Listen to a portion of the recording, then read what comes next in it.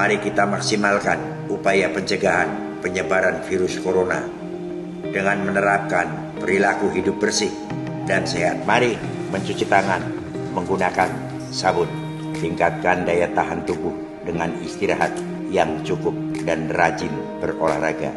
Konsumsi makanan bergizi seimbang, 4 sehat, 5 sempurna, dan minum air putih 8 gelas sehari. Gunakanlah masker atau menutup mulut dengan lengan bagian dalam jika batuk bersin.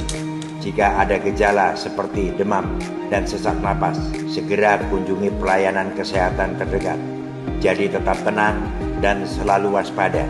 Allah Akbar.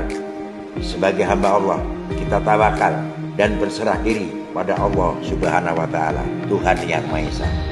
Ya Allah, aku berlindung kepadamu dari penyakit belang, gila, kusta, dan dari segala penyakit yang buruk, mengerikan lainnya. Amin. Ya Robbal Alamin.